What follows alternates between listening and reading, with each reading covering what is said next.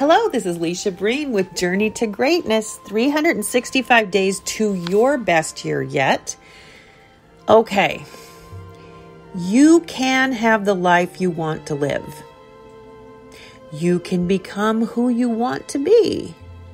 But to do this, my friends, you have to become aware of who you have been in the past and how you are being in the present right now. Who are you right now? And then you have to look at who and how you want to be in the future. Who do you need to be in the future to create this life that you want to live? You have to get clarity on what you want to create and then decide what new characteristics you will need to embody to create the new life vision.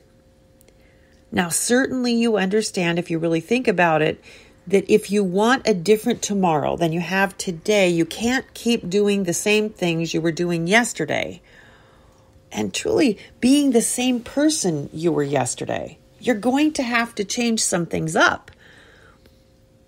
Your beliefs, your actions, and even some some of your characteristics will need to evolve in order for you to get different results. Now, we all have an image of the way we are or the way we believe we should be. Our self concept can have a positive influence on our life. And those who have the best in life, that have created a beautiful life, they have nine times out of 10 a great self concept. But nine times out of 10, more often than not, most people's self concept is subpar, and it's usually due to our beliefs and even our negativity bias. If our self concept is not analyzed, if it's not explored, if it's not course corrected, then it can become an individual's biggest obstacle to future success. And each one of us do have a self concept, but if we want our results and our life experience to change for the better, we have to adopt a new self concept that involves who we need to become, coupled with a vision of what we want to create. And this is where we need to place our focus and our efforts. Our focus should not be on competing or comparing ourselves with other people. We need to compete with ourselves. We need to compare ourselves from where we are today in regard to where we were yesterday. Have we improved? Are we getting better? Or are we getting worse? Are we stagnant? If we're stagnant or we're less than we were yesterday, then we really need to take a look at that. If we want a better life, we have to focus on who we want to evolve into so that we can create our envisioned future. So, let me give you some steps real quick on how you can get started if you feel like you are stuck. We first have to buy into this belief that we are here to grow and develop. If you're sitting and watching Netflix every day for hours on end, or you're addicted to your social media, then you are stuck. It's time to build some new skills. It's time to learn some new things. It's time to push yourself. Put down the phone, turn off the television. Time to get to work. We have to adopt the concept that we're here to be productive. And we have to be willing to work hard to get the results we are longing for. And I promise you that hard work gives a feeling of satisfaction that you can't get from watching Netflix. What I'm referring to means you have to get up off the couch, you have to get to work. Now, to do this, to get the inspiration and the motivation and the momentum to actually get yourself up off the couch, we have to create a clear vision as to what we want. What do we want out of ourselves and out of our life? And here's a tip the more epic the vision, the more compelling and inspirational it will be, the easier it will be for you to stay on task. Now, here's an example. For most of my life, my life vision was pretty muddy.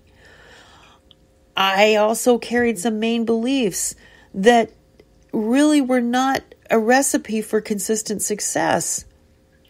So once I became aware of my of the cost of my most debilitating limiting beliefs that were affecting my overall self-concept, I decided to re- replace them with more constructive beliefs. The new beliefs that I had to work with probably wouldn't be relevant to you because they were unique to my own situation. And each person's situation is entirely unique to them. And that's why you need to take a look at what your beliefs are that are contributing to your self concept. What's holding you back? What's keeping you from having your best life? Once I discovered my limiting beliefs, once I found alternatives to those limiting beliefs, then I had to take massive action to convince my mind that those new beliefs that I had created were a fact, that they were a truth. Because you can tell your mind over and over and over again that you are a hardworking person. But if you're sitting and watching Netflix for five hours a day, you're not. You're not. So you have to take action to prove to the mind that you are worthy, that you are valuable, that you are trustworthy, that you can give yourself a command and follow through consistently on a regular basis. In addition to creating new beliefs that helped resculpt my new self concept, I created 10 affirmations reflecting this new self in my mind's eye and the life that I wanted to create. I did this to keep me focused on what I wanted to create in my life, personally and professionally. I wrote down these 10 affirmations, and to this day, I still go over them every morning. I allow myself about a half a minute on each affirmation. And I also ignite the affirmations with emotion so that I can feel the joy and the excitement and the inspiration that these visions, these affirmations hold for me. Now, just a heads up the negative stuff never completely goes away. But over time, with practice and focus and effort, the negative thoughts and beliefs have less and less influence on us, and the new empowering beliefs will take over. And when this starts to happen, the new self concept begins to emerge. So you have to step out in an act of faith to be able to bring about this new personal revolution because that's really what it is. I hope I've given you something to think about today. Now, as always, we're going to go into our mindfulness meditation. So sit down, get comfortable, relax, and take in a nice deep breath and close your eyes. Okay, are you nice and comfortable? Today, we're going to talk about staying focused. Today, we are going to really try to focus on our breathing and to practice letting our thoughts just flow in and out. Now, as we begin, make sure your eyes are closed, and we're going to take three deep breaths in through our nose and then out through our mouth. So let's start by taking that first deep breath in through the nose and release. And take a deep breath in through your nose and release. And another deep breath in through the nose and release.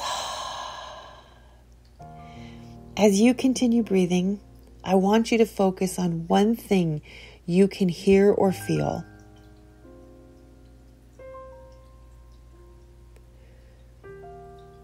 Please spend a few seconds focused on only this. If you find that your thoughts wander, just gently direct them back to what you are focused on.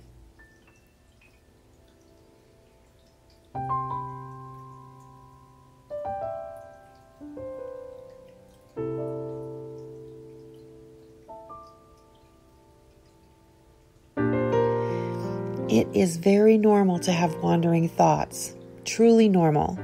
It's just how our brain works. Just simply acknowledge that they are there and refocus yourself back on the breathing.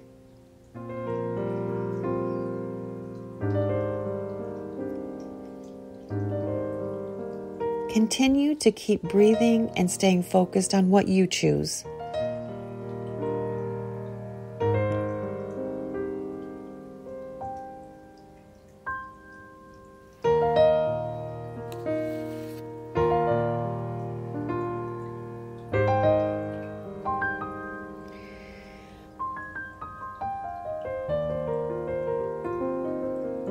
We will take three deep, deep breaths in through the nose and out through our mouth. Let's take a deep breath in and release. And a deep breath in and release. And a deep breath in and release. And now you can open your eyes.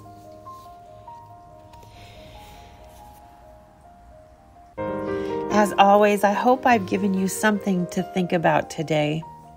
Just remember that if you really want to create a different tomorrow, a different existence from today, you can't keep doing the same things you were doing yesterday, or even being, in many cases, the same person you were yesterday to bring about a different tomorrow, you have to do things differently. You probably have to have a different mindset. Nine times out of ten, you do. So focus on looking at your self concept and ensuring that you have really looked at it, that you've analyzed it, and if you find things that need to change, course correct. If you go back to what we've talked about in the beginning, loving yourself is where it starts. If you truly love yourself, you're going to do the things you need to do to do right by you. Make that commitment if you haven't made it yet. And start working toward that brighter future today, right now. God bless. Be bold, be brave, and always, always be your authentic self. Until we meet again.